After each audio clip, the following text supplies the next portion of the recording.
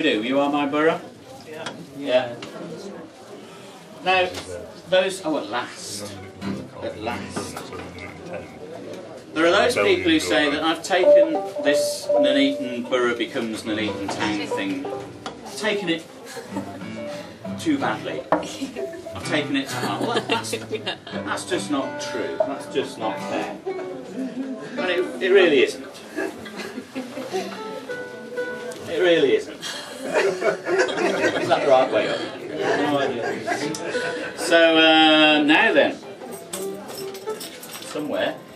This is only the second time we've done this. For those who don't know, uh, Nuneaton Borough don't exist anymore. They're Nuneaton Town. They've been denoted to demoted to divisions. They had all their players taken away, but other than that, the FA were fairly merciful to them. Um, and they're now supposed to be called Nuneaton Town, but uh, many of us who are going to uh, watch them defeat Evesham in the FA Cup in Worcester tomorrow, long story, uh, will be singing songs about the borough, not the town. Anyway, this is a song called You Were My Borough. Any of you who go to watch football, and Ian, go down well in Newcastle. Um, there's a, a song, uh, uh, fans sing a song uh, that's a parody of You Are My Sunshine.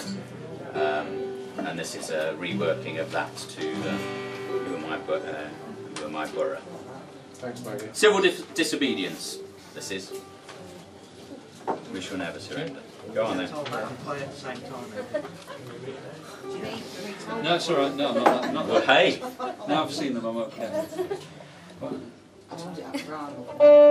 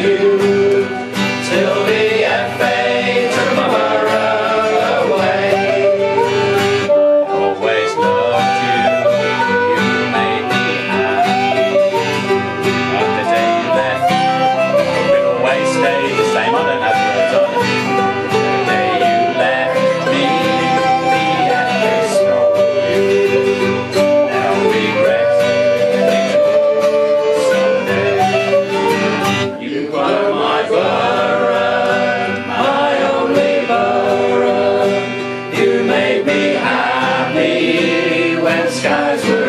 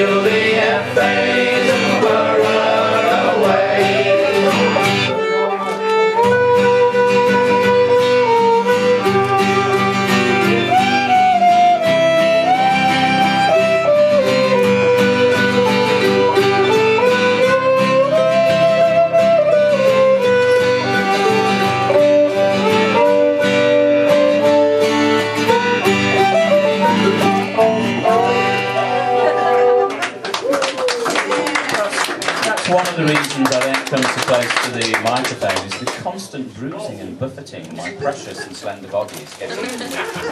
So